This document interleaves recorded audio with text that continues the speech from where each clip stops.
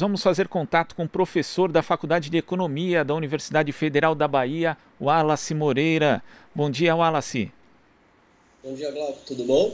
Tudo certo. A gente sempre responde aqui, né? Tudo certo dentro desse contexto da pandemia, né? O, o, isso, cer o certo isso. possível. E... É, é uma retórica, né? Virou retórica. Exatamente. O Wallace, a gente tem agora um contexto aqui no Brasil que, em que a palavra de ordem de parte da mídia tradicional é reforma administrativa. A gente põe até sempre Sim. reforma entre aspas, né?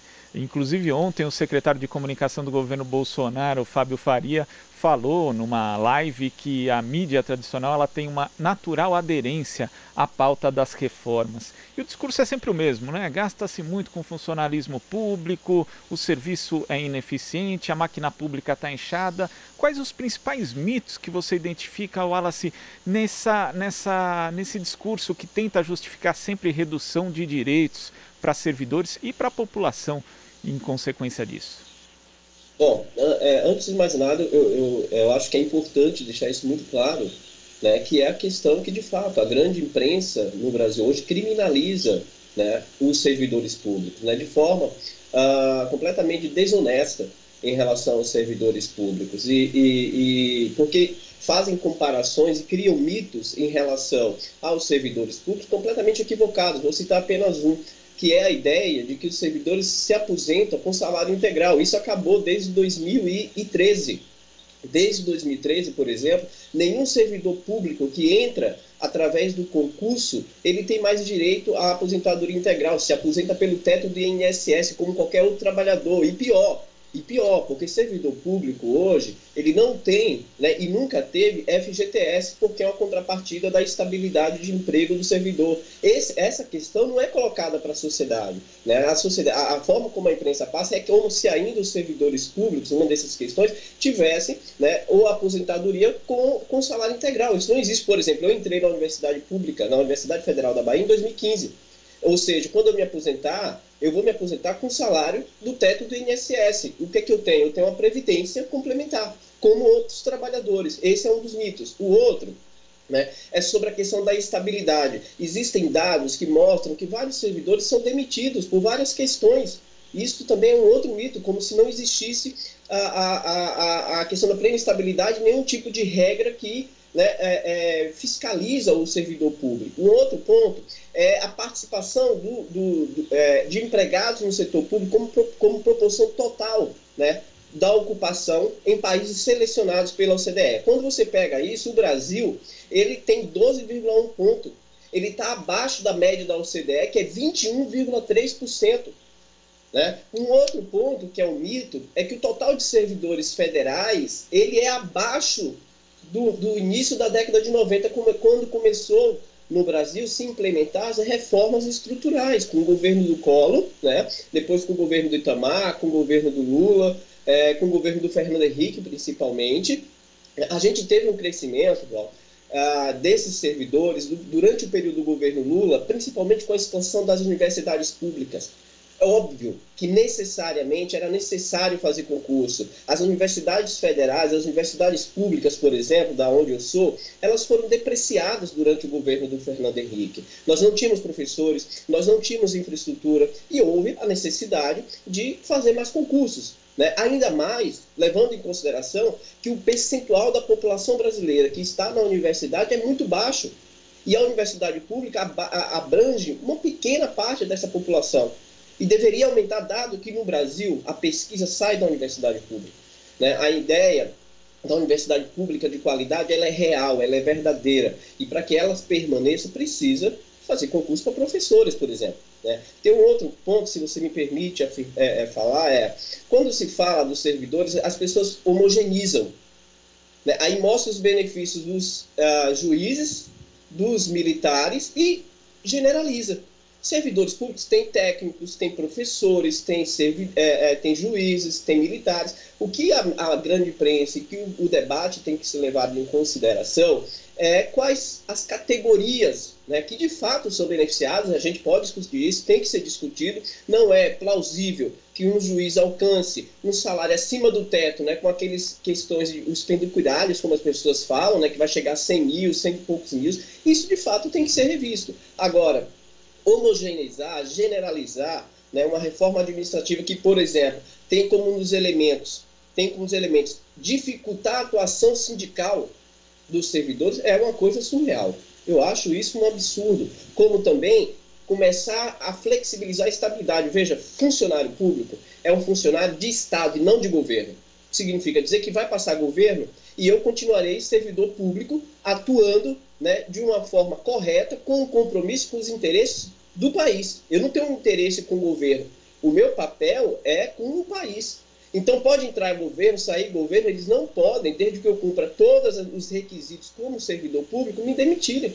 Eu posso fazer a crítica que eu quiser, como eu estou fazendo aqui ao governo Bolsonaro, né, ou a qualquer outro governo, como eu fazia ao governo Lula, como eu fiz ao governo do Fernando Henrique, e eles não, não podem me demitir porque eu estou cumprindo a minha função enquanto servidor público, apontando elementos reais para fazer uma reflexão sobre as questões propostas pelo governo para a sociedade. Esse é um outro elemento. Imagina só, né, imagina só, eu ficar sujeito aos interesses de governo. Quer dizer, o que, que aula posso dar então na universidade a partir do momento que a minha estabilidade né, fica sujeita a critérios de avaliação de acordo com o interesse de governo. Eu, eu comprometo por completo né, a, a, ideia da ciência dentro da universidade, que tem várias né, tendências, várias correntes de pensamento. E o Wallace, você expôs também uma contradição bem evidente, inclusive no próprio governo, quando a gente vê que ele concedeu, se, salvo engano, em junho, né, um reajuste de um auxílio para militares mais graduados. Não foi nem para toda a categoria, foi para militares mais graduados que, terão, que já ganham mais e vão ter direito a ganhar mais ainda. E ao mesmo tempo vem com esse discurso né, que na prática ontem garantiu inclusive a manutenção do veto de Jair Bolsonaro na Câmara dos Deputados ao reajuste né, a, o, impedi, a, o, veto ao reajuste de servidores públicos municipais e estaduais e para garantir ali que o auxílio da União pudesse chegar. E quando a gente, né, quando se fala isso do funcionalismo público em geral, na verdade esses servidores, olha, são as pessoas ali que justamente trabalham na área da saúde, trabalham na área da educação, que se expuseram, estão se expondo ainda em plena pandemia para garantir, por exemplo, serviços básicos como limpeza. Ninguém está falando de reajuste de funcionário público o, o, tal do Marajá, né, o termo cunhado pelo Collor lá atrás. Quer dizer, é uma contradição muito grande né, que vive ali o, o governo e a mídia em geral. Perfeito, cara. Foi uma, uma perfeita observação. O, o, a bonificação militares é de 26 bilhões e meio. 26 bilhões e meio é mais do que o Bolsa Família. Para um número limitado de pessoas, como você mesmo falou, de patentes, de graduados das forças dos, dos militares. Enquanto isso, o governo está aí com um discurso fortíssimo de ajuste fiscal, né, de cortes de gastos, com a manutenção do teto dos gastos. Né, e, a mesma forma, a questão do reajuste salarial era para setores, para áreas que estão na linha de frente do combate ao Covid. Nada mais do que justo, nada mais do que humanitário entende? E a forma como a grande imprensa trata esse, é, é, essa questão é completamente distorcida, porque ela generaliza, homogeniza. Repito, não se pode homogeneizar, não se pode generalizar. Essa bonificação de um custo de 26 bilhões e meio, ela foi para os militares, não foi para os professores. Nós, professores de universidades federais, estamos sem reajuste né, desde o ano passado. E a proposição é que nosso salário fique congelado. Né? Os próprios sindicatos dos professores, falando como categoria de professor de Universidade Federal, mostra que a perda real dos nossos salários vem acumulando em torno de 30%, né? porque nós, nós não temos o mesmo reajuste com o crescimento da inflação. O que, que tem acontecido? Muitas instituições privadas que pagam muito bem para professores estão resgatando professores de alta qualificação e alguns professores indo embora para o país, do país. Uma fuga de cérebro. E isso é extremamente preocupante. Mas mais preocupante ainda é a gente ter um governo que vetou um reajuste para pessoas que estão na linha de frente ao combate do Covid. E, ao mesmo tempo, né, dá uma bonificação de 26 bilhões e meio de reais para os militares. Para os militares e, como você mesmo falou, para patentes mais elevadas. Então, é, isso mostra que o governo ele tem lado.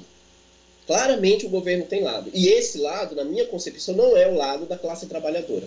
Né? O debate que está sendo proposto das políticas econômicas do governo do Paulo Guedes, para mim, deixa muito claro que não são os interesses da classe trabalhadora que têm sido atendidos, é de uma minoria. Esse mesmo discurso do governo e também de parte da mídia tradicional, que ali, é, na verdade, apela para a demonização do funcionalismo público também se aplica às privatizações, né? com aquela estratégia que é usada também desde alguns outros governos. Primeiro sucateia a empresa, reduz o quadro de funcionários, vai desmontando ali toda a estrutura para depois dizer que é ineficiente que precisa ser privatizada. A gente vê inclusive é o exemplo da Dataprev, né, que foi sucateada já a partir do governo Temer, ali no governo Bolsonaro, tivemos ali o caos da concessão de benefícios no INSS justamente por conta desse desmonte e hoje na pandemia fica patente aí o quão importante é a data prévia quando a gente vê, por exemplo, a questão do auxílio emergencial. Então essa estratégia também é utilizada nas privatizações, Wallace? Desde sempre, desde sempre. É, na segunda-feira, né, quarta-feira, desculpa, quarta-feira, o, o, Jornal Valor Econômico lançou uma reportagem mostrando a ineficiência dos Correios. Olha que, olha que estratégia em pleno momento em que os funcionários dos Correios, dado a exposição ao Covid, as péssimas condições de trabalho, suca, um, a um é, sucateamento da empresa por desinvestimento, né? o governo ele não tem feito investimento, não tem contratado. Né? O, o Jornal Valor Econômico pegou uma reportagem e mostrou o número de reclamação em relação ao serviço dos Correios. É uma reportagem que deixa muito claro como que a grande imprensa, juntamente com o governo, né, usam os mesmos instrumentos desde sempre para legitimar a privatização de estatais que são essenciais para o serviço da sociedade. Por que, que, por exemplo, o Jornal Valor Econômico não pegou as reportagens que mostram que as empresas privatizadas no setor de serviço de telecomunicação, de energia, também têm um número de reclamações muito mais alto e não é no momento da crise, é desde sempre com tarifas extremamente elevadas, com serviços péssimos. Né? Nós temos uma das internets hoje mais caras do mundo e uma das piores do mundo.